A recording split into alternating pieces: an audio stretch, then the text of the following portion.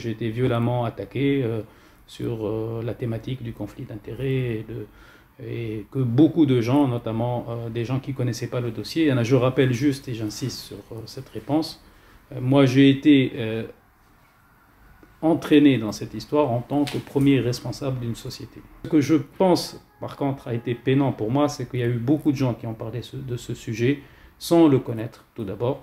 Et par moments, peut-être qu'il y a eu des gens qui, en ont parlé avec une certaine mauvaise foi. Quand je dis mauvaise foi, c'est-à-dire ils savaient que, quel était réellement le sujet, ils l'ont peut-être orienté vers des sujets un peu plus politiques. Nous avons passé plusieurs mois et nous nous sommes donc... Euh, présenté devant les juges euh, en première instance, euh, en appel et en cassation, et on a fini par effectivement gagner le procès au bout de 22 mois de procédure. Et aujourd'hui, que ce soit l'affaire ou moi-même, on, a été totalement blanchi de cette infraction qui relève effectivement d'une infraction de change.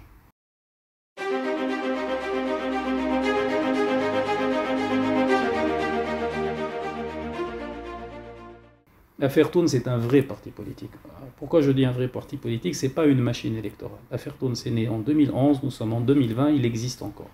Si vous regardez le paysage politique de la représentation nationale aujourd'hui, je pense qu'il y a un seul parti qui peut prétendre aujourd'hui à l'ARP à avoir 9 ans ou 10 ans de vie, peut-être un ou deux partis.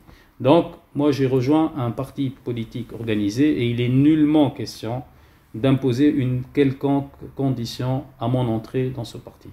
Légalement, ce parti a prévu que des anciens ministres peuvent intégrer directement le bureau politique. Ce qui s'est passé il y a à peu près un mois, où j'ai été très honoré d'être accepté en tant qu'adhérent de FR Toons et membre de son bureau politique. Et ça, c'est légal, c'est dans les, textes réglementaires et juridiques de l'organisation de FR Toons. Euh, d'ailleurs, ça s'est appliqué à d'autres personnes de par le passé.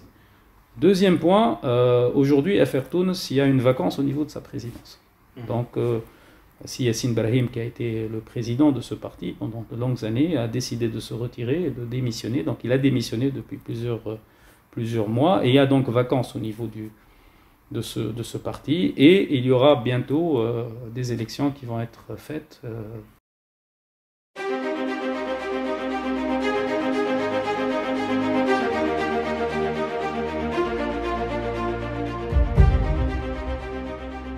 Pour moi, la seule réponse à cette question, c'est de redéfinir quel est le rôle de l'État en 2020 en Tunisie.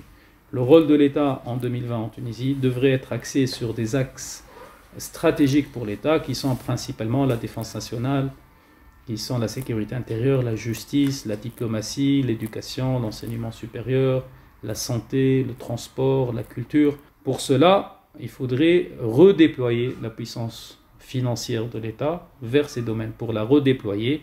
C'est là où je parle précisément du nouveau rôle de l'État. C'est un État plus stratège, un État, un État socio-démocrate, un État qui sait quels sont les axes prioritaires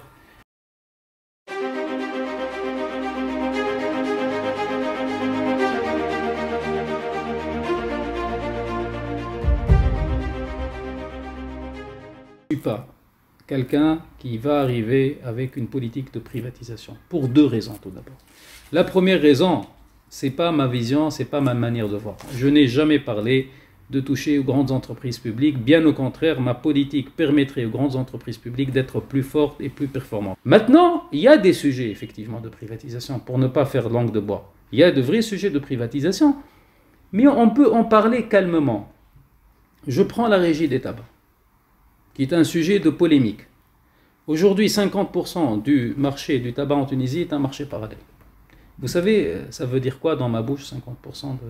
Ça veut dire qu'il y a plusieurs centaines de millions de dinars de rentrées fiscales qui ne rentrent pas aux caisses, que j'estime entre 500 à 700 millions de dinars par an.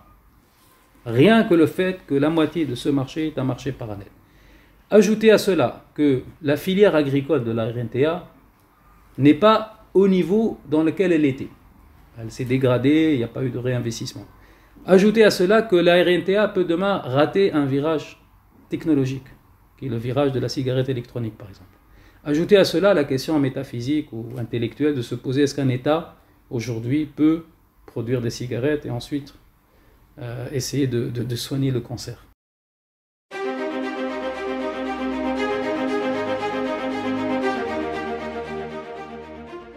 Je ne suis pas devin, mais euh, je l'espère pas. Tout d'abord avant de dire je ne suis pas devin. Je l'espère pas mon pays. J'étais content de de voir une pluie battante yani, sur la Tunisie cette dernière semaine qui nous manquait. Yani, et on reste substantiellement un pays agricole.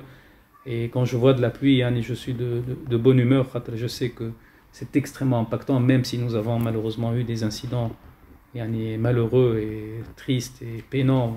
une fillette, une fille qui. Et on a eu le même cas, fait, fait, fait Yani, ça, c'est d'une tristesse qui. Yani, c'est comment on va exprimer ça ça ça casse enfin c'est c'est au-delà du triste de vivre ça en Tunisie 60 ans après son indépendance ou plus